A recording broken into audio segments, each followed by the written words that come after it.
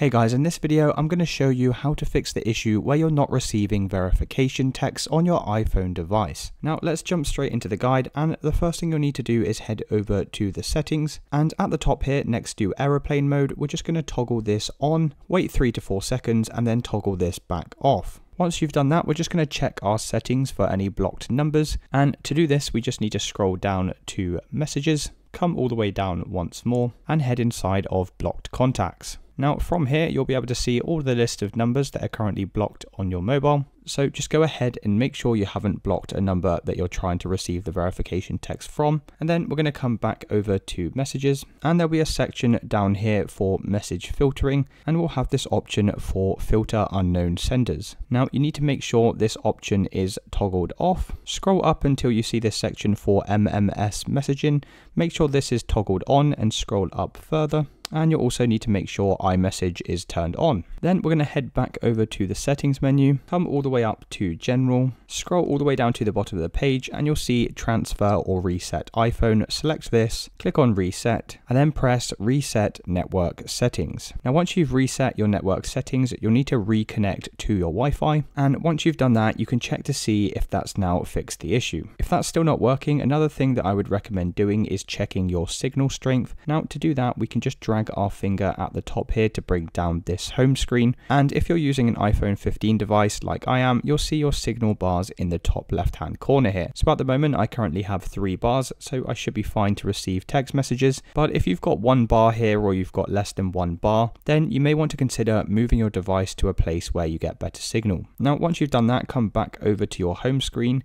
head over to your text messages, and then just delete any previous text messages that you've had from this verification number number. So if you've received verification codes in the past, then just go ahead and delete these previous text messages as they could conflict with receiving new verification codes. Then the last thing we're going to do is head back over to the home screen, come inside of settings, come down to phone, and you'll see this section here called my number. Now just make sure this number here matches the number that you're entering on the verification site. And if the numbers match, then the last thing that I'd recommend doing is just to restart your phone. Now to do this, what you need to do is hold down the power button as well as holding down the volume down button at the same time. So by holding down both the volume and the power button, this will perform a soft reset of your phone. And once your phone's restarted, you can then check to see if that's fixed the issue. Now by following all of these steps, you should now be able to receive verification text.